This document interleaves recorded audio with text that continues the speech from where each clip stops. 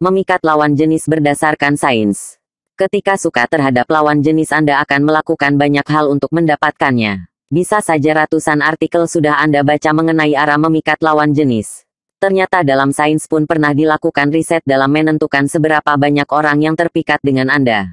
Hingga berbagai metode pernah diujikan, lalu apa saja yang bisa membuat lawan jenis terpikat oleh Anda? Gini uraiannya, memelihara binatang tidak hanya diidentikan oleh wanita, karena faktanya memelihara binatang adalah salah satu metode untuk memikat lawan jenis.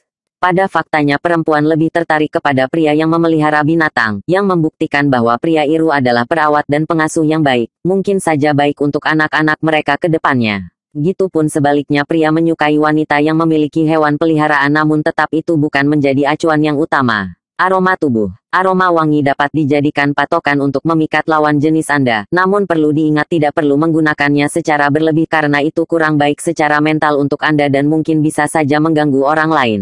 Kecerdasan. Kecerdasan seseorang bisa membuat orang lain terkagum-kagum oleh Anda bahkan kecerdasan pula yang menjadi tolak ukur seseorang akan menjadikan pasangan atau tidak.